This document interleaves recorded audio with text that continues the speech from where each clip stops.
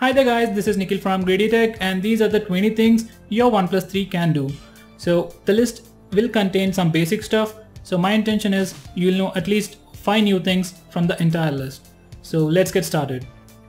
If you like the concept of always on display on Samsung devices, then you can get the same thing using a third party app called as Gleam Plus. I made a separate video on how to do that, so you can check that out for more information. Next, we can connect OTG pen drives using an OTG adapter to the OnePlus 3. Sadly, mine doesn't work, but most of the other devices are able to detect the OTG pen drive.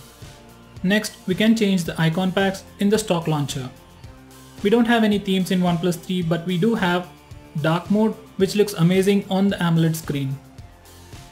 To protect your eyes while using your phone in the darkness, we have night mode which can be accessed using the notification toggle and even the display settings.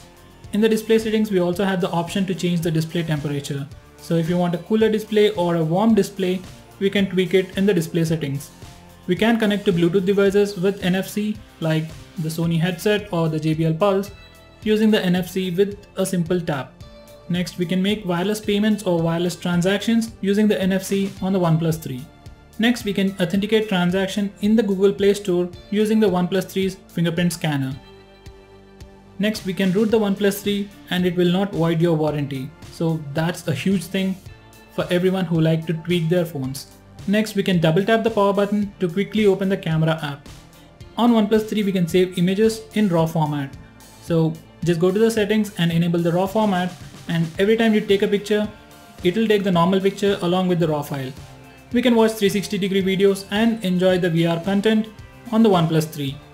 OnePlus 3 will support the Google's high quality mobile VR Daydream. Well, it isn't officially announced, but OnePlus 3 definitely has the specs to support Daydream.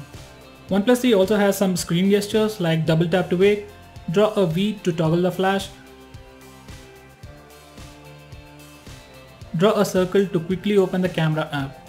Next we have something called as proximity wake. Simply wave your hand over the proximity sensors and it will wake up the device and show you your notifications. Next we can unlock applications using the fingerprint scanner. We need to install a third-party app for that. I already made a video for that so do check it out.